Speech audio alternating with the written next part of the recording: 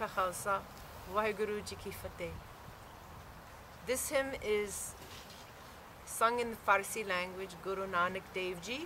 In the Guru Granth Sahib, it's page 721.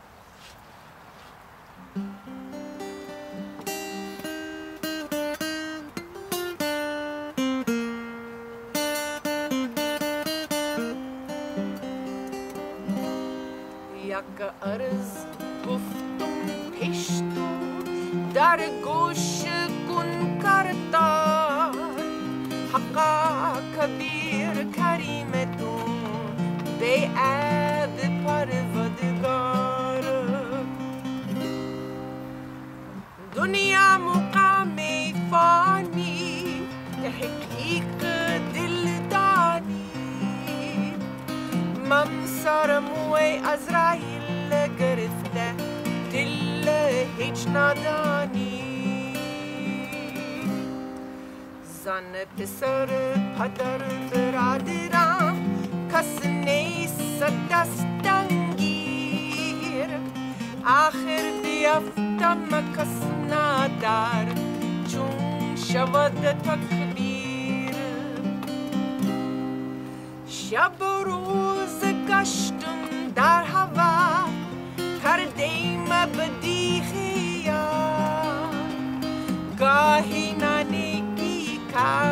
کردم. مم این چنی احوال. بدبخت همه چون بخیل غافل بی نظر بیبا نانک بگوید جنت را. تیری چاکرم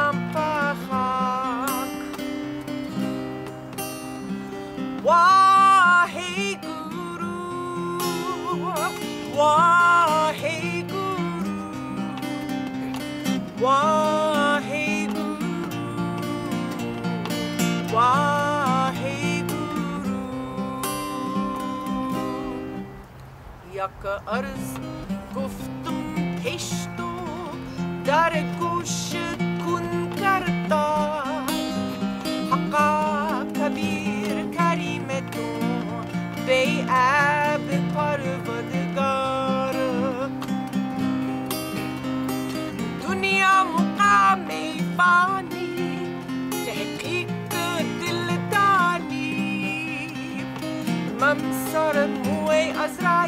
ازرائیل گرفته دل هیچ ندانی زن پسر پدر برادرم کس نیست دستنگیر آخر بیفتم کس ندار چون شود تکبیر شب و روز گشتم در هوا کردیم بدی خیال. گاهی نانگی کار کردم من این چنی احوال. بدبخت همچو بخیل غافل بی نظر بی باک. نانک بگوید جنت را تیری چاکرم پا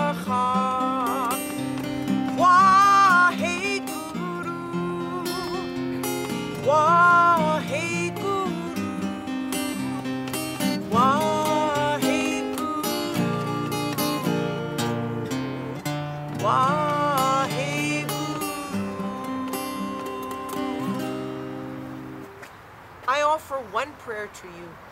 Yak arz guftun peşto. Dar gosh kun kartar. O Creator, please hear me. Haqa Kabir Karimatun. You are great, true, merciful. Be'ab the God, with no spot, with no blemish. Dunya muqami fani tahqiqa diladani. The world, as beautiful as it appears, is a passing place of death. Tahqiqa diladani. Know this in your mind. Mamsar moy Azrail grifte. The Jamdut, the angel of death, is grabbing my hair. It means my time of death is coming. dilla hijna dani. But my heart is not set on it. I'm, my mind is not focused on that. It's focused on materialism, Maya. Zan pisr padr baradara. Zan means wife. Pisr means son. Father. Baradara, brothers and sisters. Kasnes dastangir. When I die, they don't go with me. Nothing in this world goes with me when I die. Akhir biaftam kasna dar the chung shavad takbir. And at last, when I fall with my last prayer, no one will rescue me. Who? Only God. Shabaroza gashtum dar hava kar badi khayal. The wind blows daily, morning and night. It blows the door. It's the cycle of life coming and going, birth and death. Things come, things go.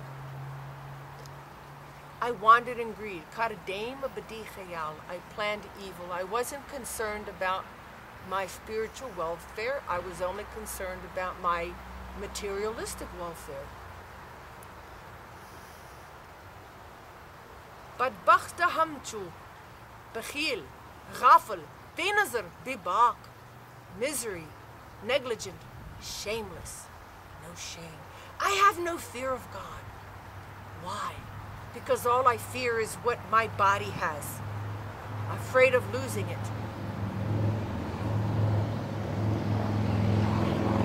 Nanak Bhoya the Jantora Tere Chakaram Pachak. Nanak says, the first Guru, I am your humble servant, O God. I am at the dust of the feet of your slaves. Who are God's slaves? All of those who fill their minds with the Word of God, who dwell on the Word of God who live by the Word of God. Not, not being religious, but being spiritual. Respecting our bodies, respecting our lives, respecting others, respecting the home. God is the home in which all of us live. This prayer began with Guru Nanak saying, I offer one prayer to you, O Creator. Please do, do listen. This doesn't mean that we have to bribe God or scream, and maybe he will listen to us. He is listening. But we need to be made aware that God is listening. He may not be paying attention if it's not a sincere prayer, but he can hear it. And so this hymn tells us that no matter how great we are, no matter how famous we are, how strong we are, how beautiful we are, it all will go away one day. Just like everything that blossoms. I could pick this flower, but I won't, it's not my property. And that flower wouldn't be there anymore. So God picks us. We're like the flowers in his bouquet. So don't make yourselves too much comfortable in this worldly garden of God. Yes, enjoy it, appreciate it, but don't fix your hopes on those things which come and go. Fix your hopes on that which is permanent. Hukum, the natural laws of the universe, God Himself, wisdom, and share this with others. And blossom like the beautiful garden so that you can live a productive life, not a proactive life. This is what Sikhism is all about education, not dressing up like a saint, not trying to show how many good deeds we do. It's good to do good deeds, that's great. But heal ourselves inside through the wisdom of Guru so that we can progress, so that we can mature, so that we can filter out all of those negative inspirations that inhibit us from helping ourselves and from helping others. Because it's not an I in this world, it is a we society. I have to heal the I so that I can participate and help the we, the others. We all have to do this. And it takes humbleness and willingness to look outside of the box of how you were brought up. I'm not saying throw away the good values that you've learned from your family, from your teachers, but look outside the box of the limited knowledge that you have and be open for more wisdom. Get that Bud enlightenment through the mind and live by it. Waheguru Ji ka Khalsa? Waheguru Ji ki Fateh?